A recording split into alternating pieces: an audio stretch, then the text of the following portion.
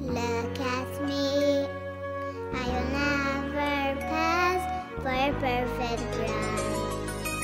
Our perfect daughter cannot be, but meant to